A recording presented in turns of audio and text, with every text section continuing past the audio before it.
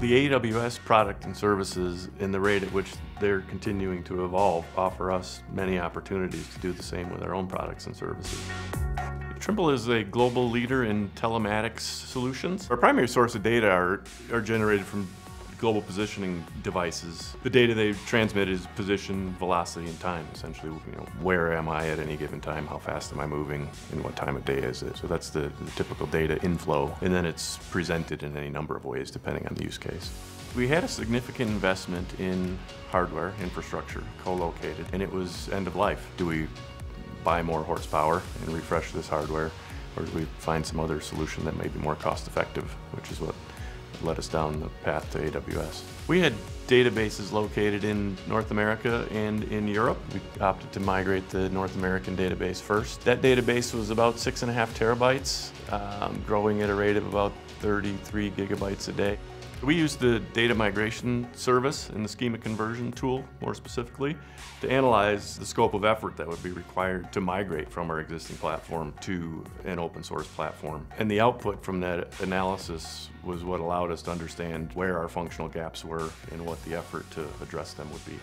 Without the schema conversion tool, I would have had to rely on my resources to try and figure out what these functional gaps are between our current database and our target database. The time required to do that would have you know, taken much longer than the tool.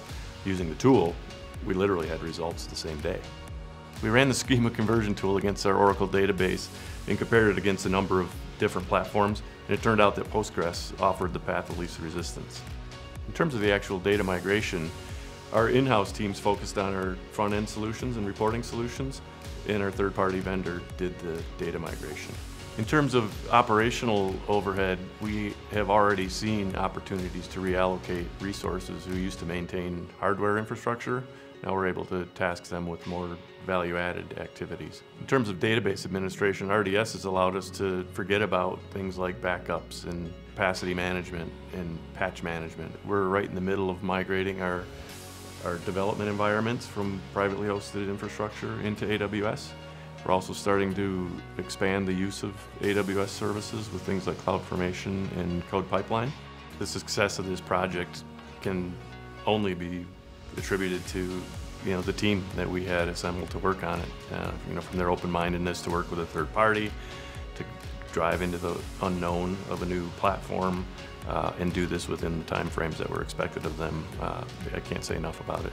We're about 80% complete on our migration to AWS, and our projections are that we will pay about one quarter of what we were paying in our private infrastructure.